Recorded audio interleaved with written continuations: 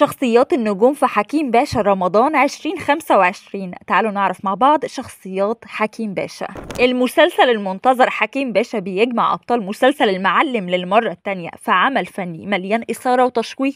النجم مصطفى شعبان هو بطل المسلسل وبيشارك معاه النجوم دينا فؤاد سهر الصايغ أحمد صيام محمد نجاتي محمد العمروسي سلوى عثمان. أما عن قصة المسلسل وأحداثه المشوقة مصطفى شعبان بيجسد في حكيم باشا شخصية راجل شعبي. وبتدور عليه أحداث المسلسل اللي مليانة صراعات ومواقف مثيرة. هيكون في تحديات كبيرة بين شخصيات المسلسل وده هيخلي الأحداث تتصاعد بشكل سريع. أما سلوى عثمان وأحمد صيام سلوى عثمان هتلعب دور دجالة من الصعيد ومتجوزة من أحمد صيام ومن المتوقع إن دورها هيكون مشوق جدا وليه تأثير كبير على أحداث المسلسل. أما بالنسبة لمحمد نجاتي هيدخل في صراعات جديدة مع مصطفى شعبان ومتحمس جدا للعمل معاه للمرة الثالثة بعد مزاج الخير وبابا المجال وفي حكيم باشا هيلعب شخصية بحر. شاب صعيدي من هنا ودوره هيكون مليان صراعات مع مصطفى شعبان وهيزيد المسلسل تشويق. وبالنسبة لسهر الصايغ هتكون في تجربة جديدة في الدراما الصعيدية.